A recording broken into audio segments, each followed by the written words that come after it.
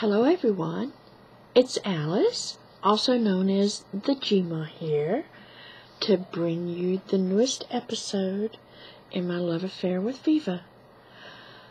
Today I have made a little Easter basket and it is made with Viva towels cut and rolled and folded and this was braided and Miss all dolled up for Viva is now going to have her uh, Easter basket with her eggs in it.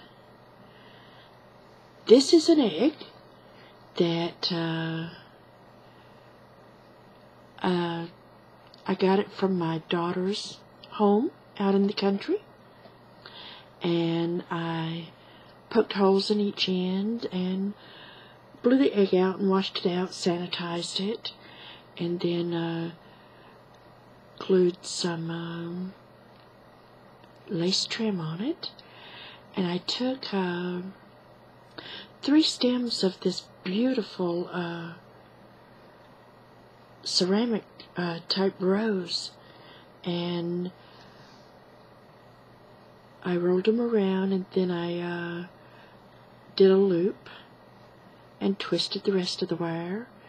And you can see that there are three loops done that way. And then I pinched the ends to turn them into leaves. And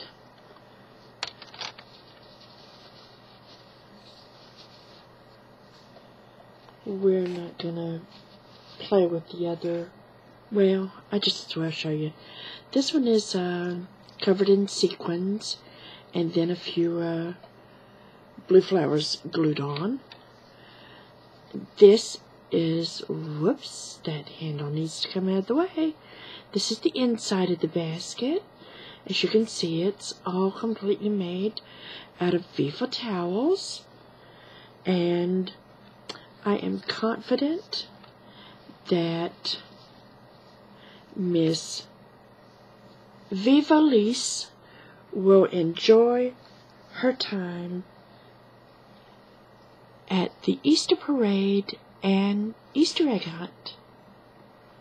Now, y'all stay tuned for our next episode in the ongoing love affair with Viva.